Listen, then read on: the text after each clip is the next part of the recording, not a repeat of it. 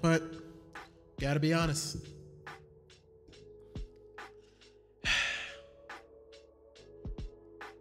You know, every day I I live my life the best I can and do the best that I can. But some of those times, those days are just not enough. And it's just it's tearing me up inside, man. It's just you know, I get on here and I teach.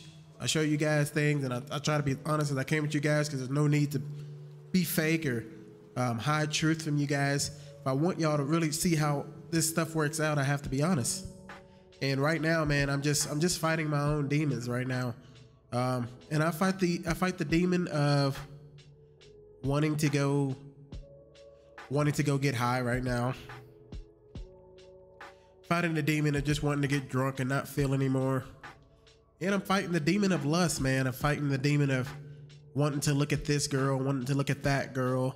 And uh though I've had no slipped ups, I haven't looked at any um I haven't looked at the hub, as y'all know how I feel about the hub, but I'm not gonna sit here and lie.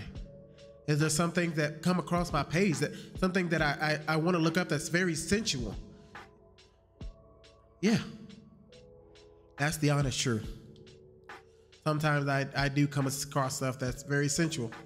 And I can't help myself but want to look, you know?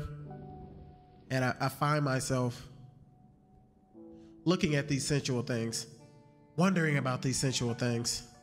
You know, I'll even admit when I first started streaming on here, you know, when I was first um, trying to show you guys how strong the uh, power of lust can be. And I was showing you all those women doing the try on hauls and um, showing you all the women doing the ASMRs and all that kind of stuff.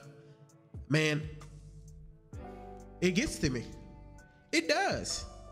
I'd be lying to you if I didn't say I like like looking at women who are being very sensual and sexual. And sometimes it's hard to not want to go back to that life and want to do that. Just just about an hour ago, I was sitting on my bed and y'all just hands in my palms like when does this stop?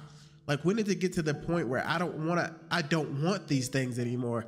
As much as I like to tell you guys like stay away from all these sexual things, my addiction after 17 years of doing this still wants to look. I still think about it in my head even though I haven't seen these videos in months.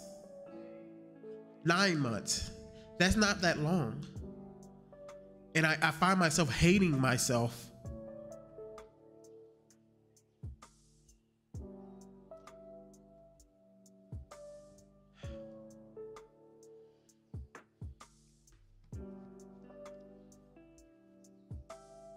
I find myself I find myself hating myself all the time. Like I don't deserve to go on. Like because I still think about these things and sometimes I actually take a look. Sometimes when I'm scrolling, a woman comes across my thing and I stop. And I stop and I look for a few seconds. Because I I, I can't help myself sometimes. It's like I'm so used to stopping and looking and then going to the hub and getting myself off and even when I wanted to run from those things, I used to I used to smoke so much just to just to escape. I used to drink so much just to escape for a second. But it never stops. It feels like those feels like those demons are always in my head, man. And I I I, I fight with myself like when does honestly I'm I feel like when does God give up on me? Like when does He say you've had enough time? You're still thinking about this stuff, and it's always just me. I know I've seen people change over time.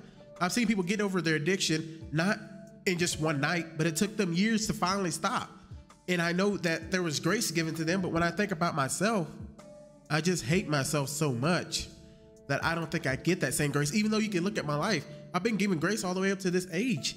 But every time I have a slip up, every time I want to look at a woman, every time I want to, every time I pass the dispensary and it just crosses my mind for a second, I could go back. I can go smoke again. I see a liquor store and I start thinking, maybe I can just go back. Let me just go back into the place and just disappear. It's it's so, it's so hard because what happens is you get the imposter syndrome The same thing that happened to that dude with the deep fakes. That story hit me hard because you want to try to be a good person, but you get caught up. And that's all I'm. That's all I'm. I'm just all. That's all I'm thinking about. I sit here and think like one day I'm gonna be. Oh my! I'm gonna be live streaming and. Um, I don't know, man. When, when something's gonna pop up from my past or something's gonna pop up and bam, there it is.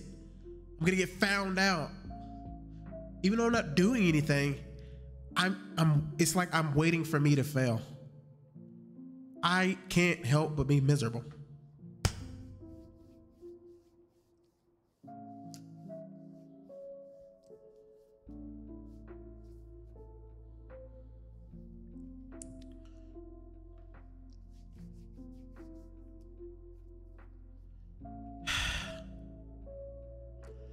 I for some reason I'm one of those people, and I'm sure you've met people like me, that I, I for some reason I don't know what it feels like to be content and be happy with myself.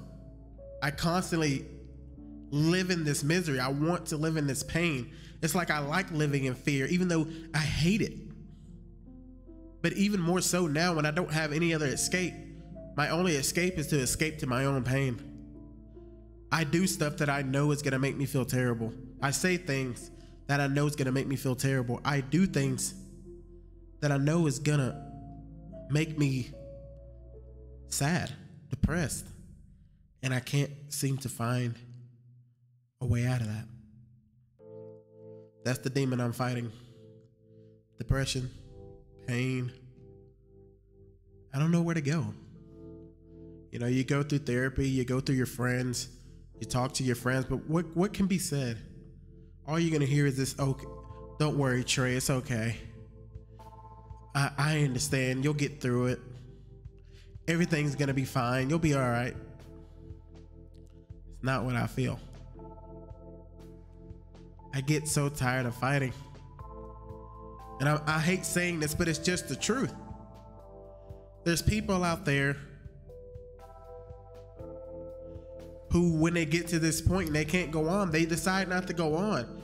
I thought I would never understand that. I'm being a I never thought that I would be able to understand what it meant to feel like you don't want to keep going. You want to take it into your own hands. You'd be like, if I'm gonna sit here scared every single day, I'd rather just take it into my own hands. But I, I get it more and more every day. It is not even anybody doing anything to me. It's all in my head, man. It's just me thinking to myself every single day. Why do you wake up? What are you gonna do today? Are you gonna screw up? Gonna make another mistake? Are you gonna fall into lust? Are you gonna take care of yourself? I never thought I would sit in my bed every morning and just contemplating actually getting up. I, every time I stand up, I think to myself, is this it? Am I done? I don't want to I don't want this life to be over yet. I know it's going to get harder, but I'm okay with that, but I can't I can't get through my head anymore. I can't get past hating myself. It's just flat out true. I'll tell you what, when I used to look at, you know, when I used to look at pornography and I used to be into drugs and all those kind of things all the time, as bad as it made me feel, it made me feel so bad it felt right, if that makes any sense at all. I felt so bad. I hated myself so much, and I still do. I still do today, but I hated myself so much, and for what I was doing and what I was looking at, and the the dehumanization of it all. Uh, going to work high, being high every day, and I remember drinking so much and not caring about anybody and everyone around me, and that pain for some reason made me feel normal. And now I don't even have anything outside of myself giving me the pain, and I want to go back. I want to go back. I want to go back. It's like, and here's my honest thought. When I think about God and all that, I think to myself, well, if God hates me, I want to give him a reason to.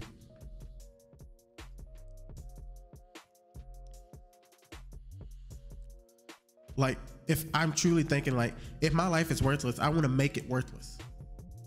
I don't know. I know this, a lot of this stems from me being adopted. You know, this stems a lot from me growing up black in an all white town. This stems from me getting rejected all the time. This stems from me growing up fat not knowing how to control my weight. This stems from me being a short guy, shorter than most of the kids in my school.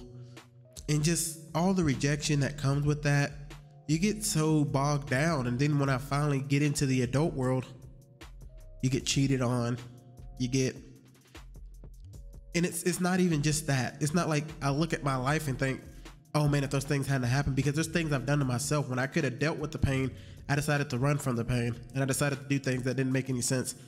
All the rejection i got from women made me turn to pornography. All the rejections i got from my peers made me turn to drinking you know?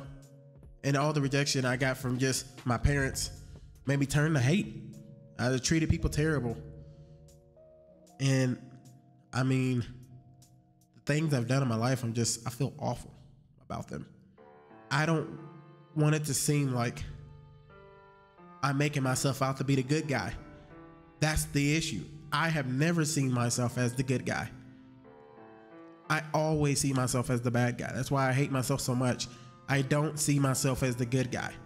Even when I get on here and I teach you guys lessons and I teach you guys about life, I'm not teaching you to say, I'm good, you're bad. I'm teaching you to say, I'm bad. Please don't be me. Please just don't be me. Do everything in your power not to be me. Don't get lost in this life of addiction. Don't screw people over. Don't steal from people. Don't lie to people. Don't hurt people. I just don't want you guys to be me. That's all I really want. If you just don't be me, I promise you, you'll be a good person. Now, the opposite of this is I have to understand that there is grace and I have to accept that. I have to accept that forgiveness. I just don't know how. Every day I try to live this life for real and that's why I try to do good, and that's why it burns me up inside when I do bad. But I don't know what it, what is what is the what does living right look like? I have no idea. It seems like anybody you look up to, everybody you look up to, is they always end up doing something terrible. It's it, and it's like to the point where all of us are doing stuff that's so bad, or at least the people I see. I don't know what it looks like to live right. And it's the internet. It's my fault because I get sucked up in the internet. Every time I see something good happening on Twitter, on Instagram, if you go in the comment section, which I'm bad for doing, you go in the comment section and you see people still hating. No matter what the situation is, there could be somebody saying, Hey, I went to go see the waterfalls. People in the comments would be like, I wish I had the money. You're a terrible person. Why didn't you give that money to charity? Why didn't you do this? Or would it have made sense if you had kept that money for your kids? It's like every time I go to the comments, it's like I get bogged down and like, you're right. No matter what we do, nothing is necessarily right. There's always going to be people who hate against it. But that's, once again, that's just me. I don't know, dude. I'm over it. Uh, I'm really just over it. I'm just hoping that.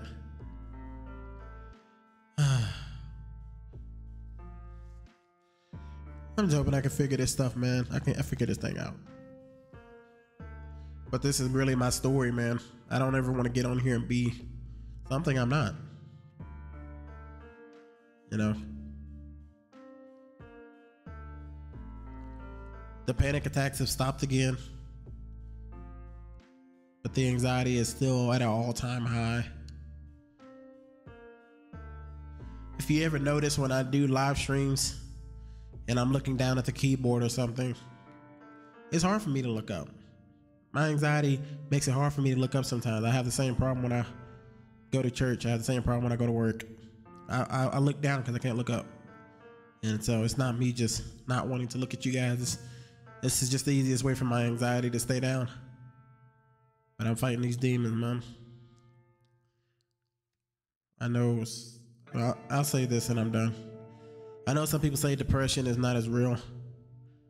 Depression ain't that real. Well, I think people believe depression is real, but no, you know what? If there's medication out there that can stop it, I don't know. But what I can tell you is that I don't I, I can't even explain the feelings I get. I feel so down sometimes. I feel so crazy sometimes. I feel so out of it sometimes. There's just no way to explain it. And I hate people who get online and they want to pretend they have depression and anxiety and panic attacks and they want to fake it because they want to be a part of it so bad. People want to feel pain so bad. Even I fell into this boat and I want to tell you guys right now, if you have a boring life, if you wake up and the sun shines in your life, please, please, please don't do don't wish for this life. Don't wish you could be sad. Don't wish you could feel anxiety. Don't want to wish upon yourself any kind of mental illnesses. It's not worth it. it's not cool. It's not fun. It sucks. I'm tired of fighting my demons. I just thought I'd tell y'all the truth.